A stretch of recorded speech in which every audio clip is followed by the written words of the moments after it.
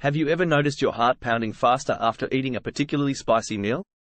Many people enjoy the thrill of consuming hot and spicy foods, but have you ever stopped to consider how it affects your heart health? In this video, we will explore the impact of eating spicy food on your heart. First, let's talk about capsaicin, the compound that gives chili peppers their spiciness. Capsaicin is known to cause a temporary increase in heart rate and metabolic rate. It can also cause the release of adrenaline, which can result in increased blood flow to the heart.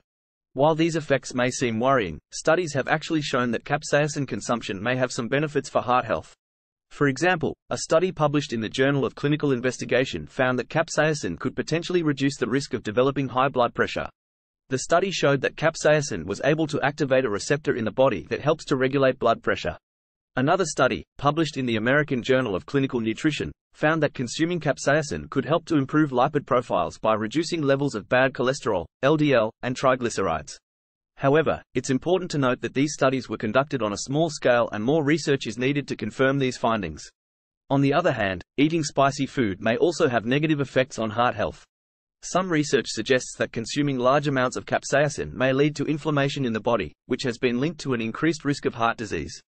In addition, spicy foods may trigger acid reflux or heartburn in some individuals, which can also have negative impacts on heart health.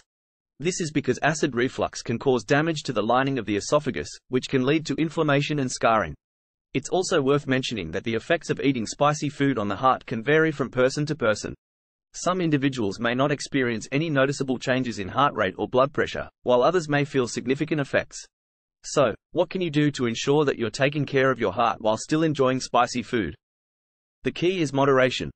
Consuming moderate amounts of spicy food is unlikely to cause any significant damage to your heart health.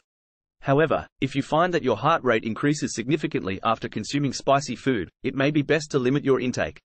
Additionally, it's important to maintain a healthy diet overall to support heart health.